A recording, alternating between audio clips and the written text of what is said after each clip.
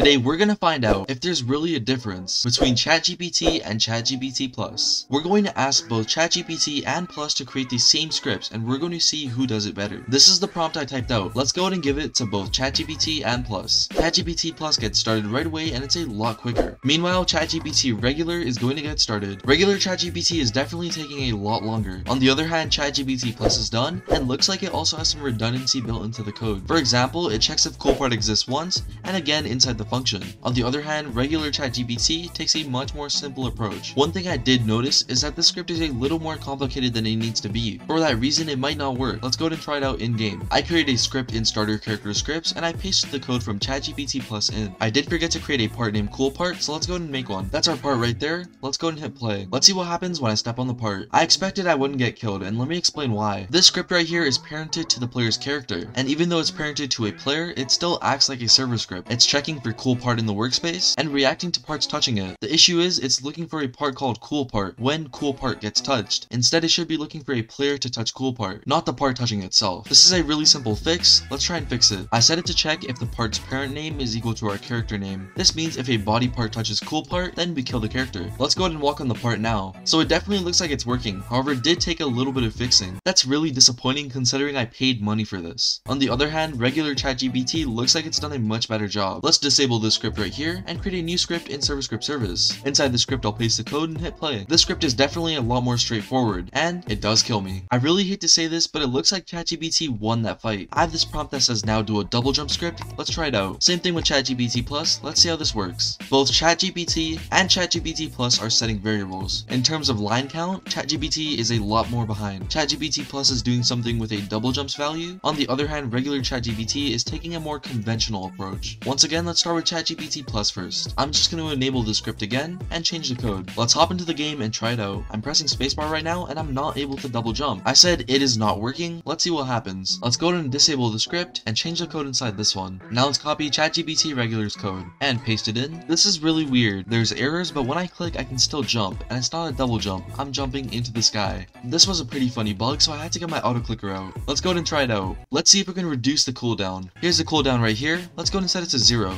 We're back in the game. I'm going to turn the auto clicker on, and looks like we're just going to keep going up forever. It's important to note that these are really simple bugs. If you want to learn how to fix these errors yourself, click the video on your screen right now and get started with scripting today. Even if you don't want to learn how to script, just subscribe. I'll see you guys in the next one. Peace.